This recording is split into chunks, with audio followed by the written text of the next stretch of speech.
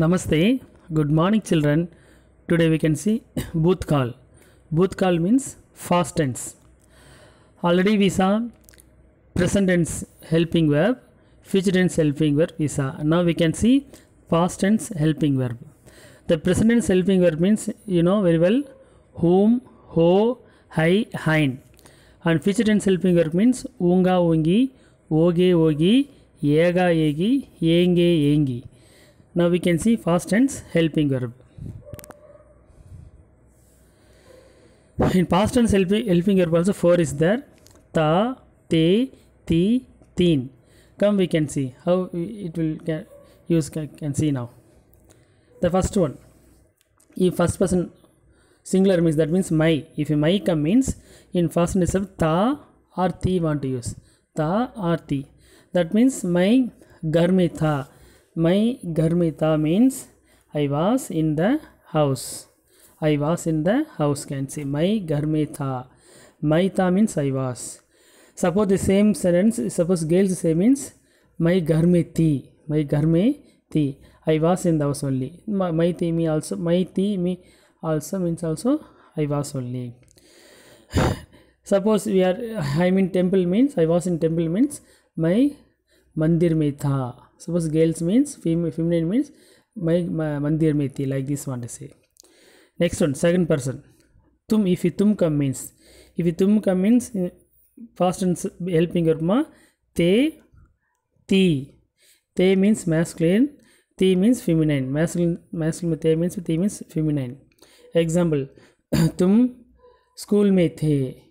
कि you are in school next तुम बाग में थी। सपोज़ गर्ल्स मीन्स तुम बाग में थी you are in the garden like this can say next third person singular third person singular वग यग ऑलरेडी यू नो वग means that Yug means this he she it also will come he she it that will okay वग यग is there third person singular come means masculine means था want to use female means थी want to use example वग वग लड़का मैदान मेहता पग लड़का मैदान मेहता दट बा that boy was in the ground okay यु लड़की नदी मेथी the girl was in the river like this can see ता ती this third person singular we can use was okay next last one plural रेस्पेक्टिफिका mean one to use may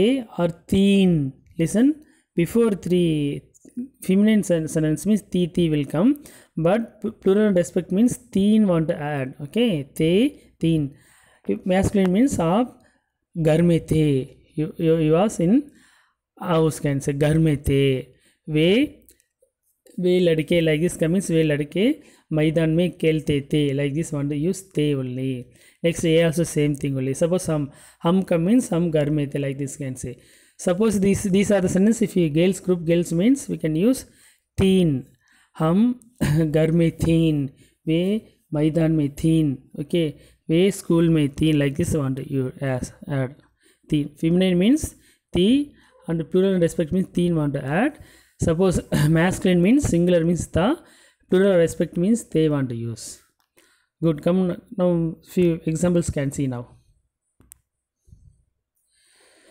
First one मई गर्मी था ना before I set you मई गर्मी था that mean I was in the house if I say mean that only suppose girls any one say mean मई गर्मी थी मई गर्मी थी means I was in the house same थी same say but English no different but Hindi is the था थी is there okay था mean masculine singular थी means female singular okay next one हम मंदिर में थे, हम मंदिर में थे we were in the temple we were in the temple okay मंदिर में थे बिकॉज़ हम means plural form and plural form respect also is there okay next राजा मैदान में था, राजा मैदान में था दैट मीन्स राजा वास the ground raja was in the ground, this is third person, singular, so that only. Few more examples for you.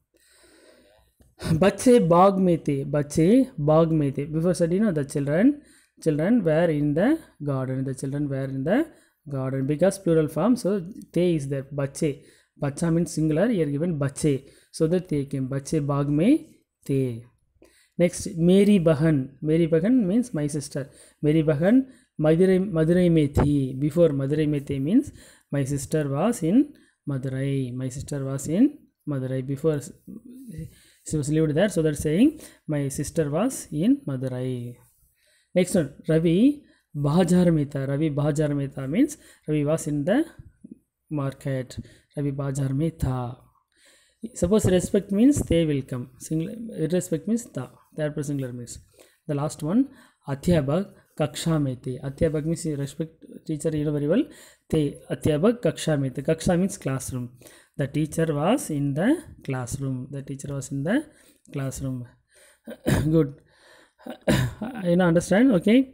Um, everybody understand i think the masculine singular means again one time recall okay? Come.